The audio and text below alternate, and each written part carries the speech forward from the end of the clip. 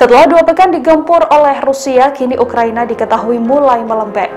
Melalui Presiden Ukraina Volodymyr Zelensky, Ukraina mengaku tak lagi ngotot ingin bergabung dengan NATO.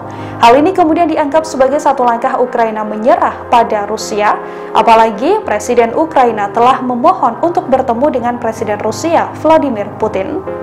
Diketahui invasi dilakukan Rusia pada Ukraina sejak Kamis 24 Februari lalu. Satu dari alasan invasi adalah karena Ukraina tidak mengakui wilayah Crimea yang sudah dicaplok oleh Rusia.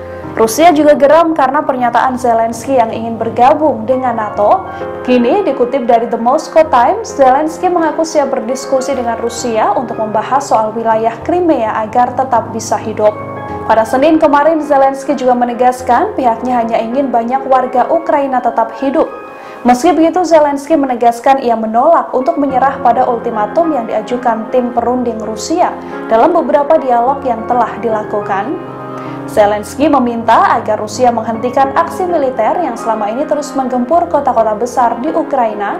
Dalam pernyataannya, Zelensky menjelaskan ia hanya ingin mendinginkan masalah. Ia pun paham bahwa saat ini NATO belum siap menerima Ukraina. Ia pun mengatakan tak lagi ngotot ingin bergabung dengan NATO. Pemimpin Ukraina itu mengulangi seruannya pada Presiden Rusia Vladimir Putin untuk merundingkan gencatan senjata dengannya secara langsung, panggilan yang sejauh ini kerap kali ditolak oleh pemerintah Rusia.